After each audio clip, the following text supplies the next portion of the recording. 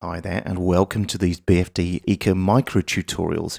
In these we're going to spend about an hour in total using some very quick sessions to get you from starter right up to power user and we hope that these are going to be really helpful in getting you right into BFD Eco and right under the hood. So we're going to be looking at the kit, the channels, the grooves, the setting up before you even start using it. Then we're going to look at using it in other pieces of software as well like Pro Tools and GarageBand. We're going to talk about exporting the audio and bringing that in and in about an hour, you should know your way around BFD Eco and then be making great music. So here we go.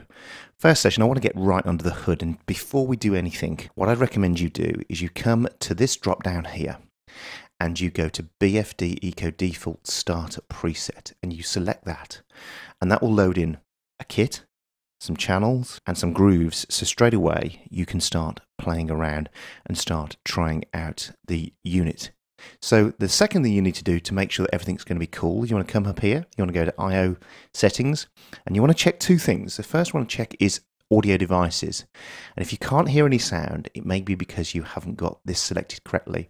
Now this is where you can select any audio device that your computer's currently got set up. I'm on a Mac, and I'm going to be using my built-in line output for this, but I could be using all these other ones. I've got a M Audio Fast Track Ultra connected as well. I can use that.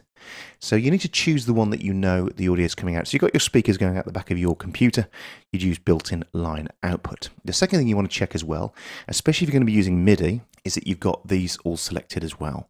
And I'm using a little M Audio Keystation Mini today to play this, so I can hit it and hear things. Sure those are on.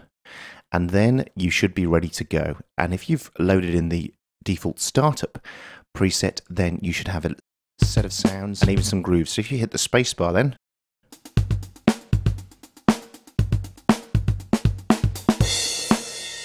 you're ready to rock. So there we are. That's the startup. That's how you make sure everything's ready to roll.